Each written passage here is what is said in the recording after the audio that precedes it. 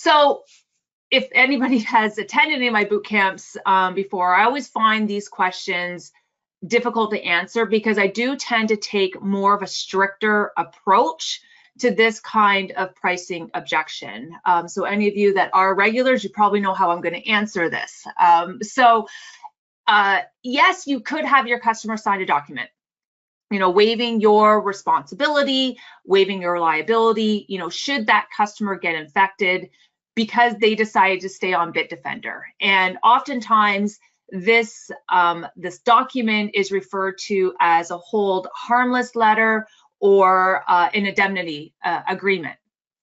Um, I don't have a sample document that I can send out because this really is something that you need to have your lawyer draw up for you because what gets covered in that agreement is really going to be determined by your jurisdiction and where you live. But, you know, if you do a quick Google search, um, there are so many different examples out there of hold harmless letters, of indemnity agreements that you could really use to get you started. And then you would just have your lawyer review that if, if you're looking to kind of get that, that process started. But I don't have any, because we're a software company, um, that, that I can send out to you.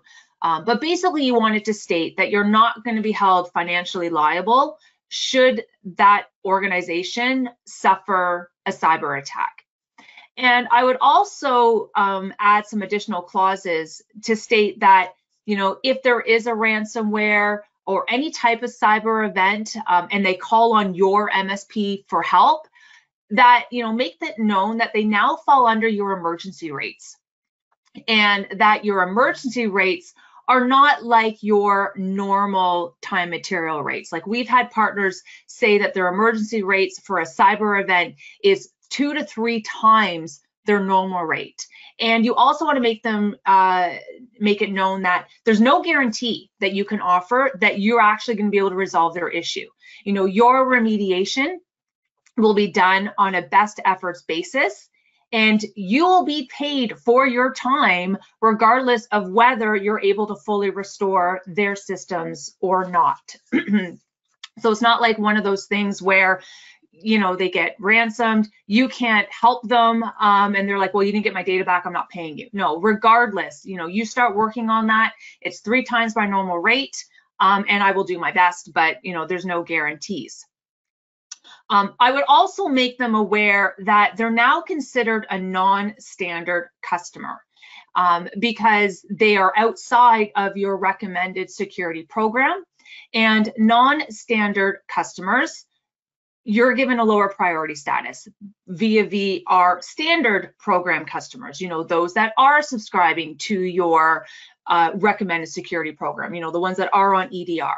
So you want to really make it known within this hold harmless letter, within this indemnity agreement, within your conversation, that your standard program customers are the ones that get your first priority whenever any issues arise. Because when an issue hits, and you know it will, um, you never want to have this non-standard client who's not listening to you, they're not adhering to your recommendations, um, you know, they're they're kind of passing the buck. You never want those type of non-standard clients to take precedent and take you away from your standard customers and, and what they may need of you. Um, my preferred approach is really for you to enforce EDR as your standard across all of your customers and remove Bitdefender, you know, as your AV solution because with traditional AV, there's just too much risk um, keeping that in place because it can't protect like EDR can. And if your customer is claiming that they can't afford it, then this is where I would just say, you know, explain to them that, you know, well, this is what I'm standardizing all of my customers on, you know, let them know because of the different risks, because their risk, you know, the, the threat landscape is changing. There's risk to your MSP if you don't have everybody standardized, but, you know, you would be willing to transfer them over to another MSP um, because as it stands, being on Bitdefender, they're just pose posing too much risk to your MSP. And you don't really want to be in that position of having to support two different solutions across two different levels of, of customers.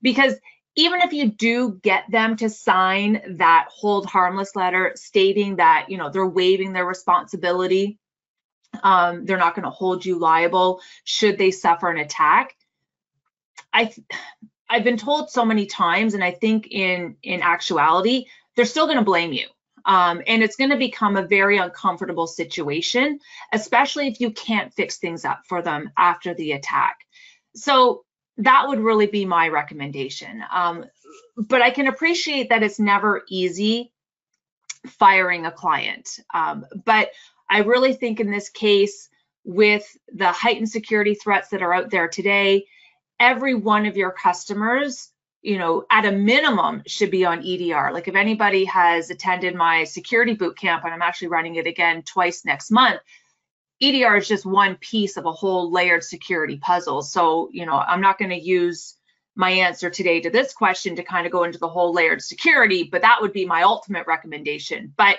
if we're just talking AV, Bitdefender versus EDR, then every one of your customers should be on EDR. Um, and then any client that doesn't want to be, I I would let them go. Um, because it is much more than just a monetary thing for you you know getting the i don't know how much you're getting off of them each month it's 11 um 11 workstations but it's more than just that monthly payment that they're paying you. No, this could cost you your reputation. Um, this could cost you your livelihood and the livelihood of your employees because businesses are always going to look for someone to blame. You know, they're not going to want to look inward and say, well, this is my fault um, because my budget you know that I perceived, um, you know, wouldn't allow me to, and I and I don't I don't need to pay for EDR when I have AV. And oftentimes, you know, when you do take that hardline approach, and if you tell a client, you know, this is just the way it is, and if they don't feel like complying, and then you go and say, you know, very politely, very respectfully that, okay, not a problem, um, then just you know once you find a new msp that you would like to work with let me know and then i will help transfer you over to them.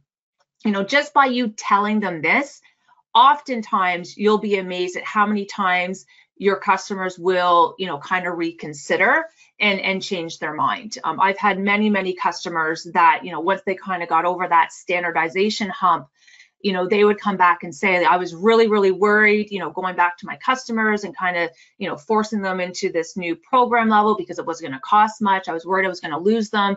And at the end of the day, they ended up losing like, you know, not even 5% of their customers. You know, most of them ended up taking on the new program, adhering to the standardization model because they didn't want to lose that partnership, that relationship with their MSP. Um, it's, it's just natural that when you go and give a customer, you know, something, if you're making a change, it's going to cost them new. That's usually the pricing card is what they're going to play. They're going to say, I can't afford this. I don't have money. I didn't budget for this. For this, um, it, it's almost automatic, I think, a lot of the times. So don't be afraid to push back on these types of customers because it, it is for the betterment of your MSP, you know, doing that standardization play. Um, so this is one of those things that, you know, I I do take kind of a hard line on this for for so many different reasons. Um, again, I do talk about it quite extensively in my boot camp on building and selling um, security programs.